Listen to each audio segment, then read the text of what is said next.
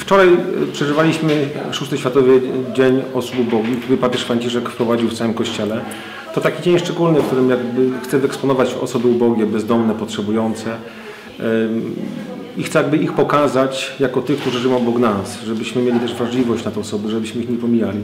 I dzisiaj w naszej Caritas, e, jak co roku włączamy się w te, w te obchody, e, w sobotę byliśmy na pielgrzymce na Jasnej Górze osób bezdomnych i potrzebujących.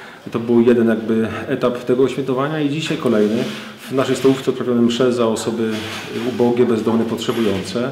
Chcemy się z nimi pomodlić, tym bardziej, że papież Franciszek pokazuje, że odpowiedzią na tą sytuację, oprócz tej biedy materialnej, którą chcemy zaspokajać, jest osoba Jezusa Chrystusa. I są też hasło tego rocznego Światowego Dnia Osób Ubogich. Chrystus dla nas stał się ubogi. I dzisiaj chcemy też obdarować te osoby Oczywiście ciepłym posiłkiem jak codziennie, ale tak samo i chcemy przekazać taki mały symboliczny prezent w postaci paczki związanej z, z czapką e, na, na, zimę. I też moja prośba przy okazji też tego dnia, żebyśmy ci, którzy mogą, wspomagali też te osoby, chociażby teraz w tym czasie zimowym, który, który nastaje, do magazynu dworcową i towarową w Gorzowie można przynosić wszystko, całą odzież zimową, którą będziemy mogli przekazać osobom bezdomnym potrzebującym.